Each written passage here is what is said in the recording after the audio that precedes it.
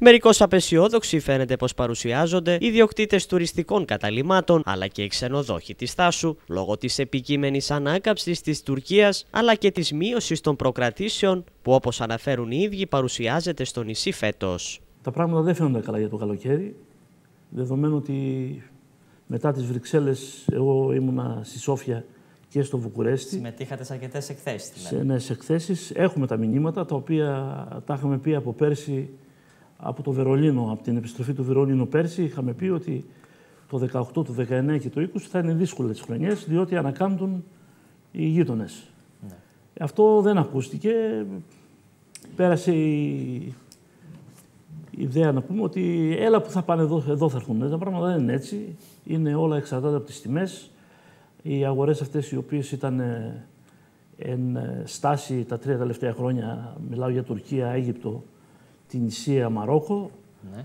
ε, αυτές ανακάμπτουν, έχουν βγει έξω με πολύ χαμηλές τιμές και όλα εξαρτώνται από τις τιμές. Οι προκρατήσεις από Δυτική Ευρώπη δεν είναι αρκετά ικανοποιητικές. Περιμένουμε μια μείωση της τάξη του 20%. Μακάρι να μην επαληθευτούμε.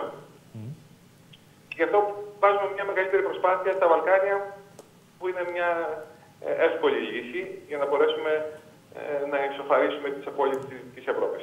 Οι τουρίστες που τη περιοχή μας πολλές φορές έρχονται για ολιγοήμερε διακοπές. Mm-hmm. Και εσείς αναφέρεστε στο ποσό που αφήνουν στο περιοχή σε σχέση με την επίσκεψή τους. Και όχι σε σχέση με το ημερήσιο κόστος δεν πρέπει να είμαστε αρνητικοί, ούτε να βγάζουμε αρνητισμό ε, στην αρχή μιας ε, τουριστικής ε, χρονιάς. Έχω μιλήσει και με τους φορείς, με τους θεσμικούς φορείς, όταν κάνουν δηλώσεις να είναι ιδιαίτερα προσεκτικοί. Να σας θυμίσω ότι και πέρσι τον Μάρτιο, μετά την έκθεση του, του Βερολίνου, υπήρξαν κάποιες φωνές οι οποίες έβλεπαν δυσίων αποτελέσματα για τον τουρισμό, για την περιφέρειά μας, αλλά και γενικότερα για την χώρα μας. Ναι. Αυτές οι φωνές υπάρχουν και φέτος. Εγώ πρώτος σας είπα, νομίζω στην εκπομπή σας, ότι από την έκθεση του Λονδίνου ε, που συμμετείχαμε υπάρχει μια συγκρατημένη αισιοδοξία.